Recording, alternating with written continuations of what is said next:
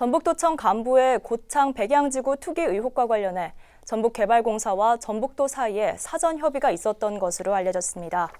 경찰은 개발 주체인 전북개발공사로부터 A씨가 사전에 정보를 취득했는지를 중점적으로 수사 중입니다.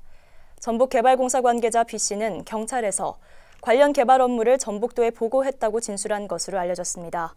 이는 앞서 진술을 번복한 것으로 사실일 경우 피해자들이 투기 의혹에 무게가 실릴 것으로 보입니다. 경찰은 지난 1일 전북개발공사 전산팀을 압수수색해 관련 증거를 확보한 것으로 전해졌습니다. 한편 이번 의혹은 도 간부인 A씨가 고창 백양지구 개발지 인근 토지 9,500여 제곱미터를 지인 3명과 함께 구입하면서 불거졌습니다.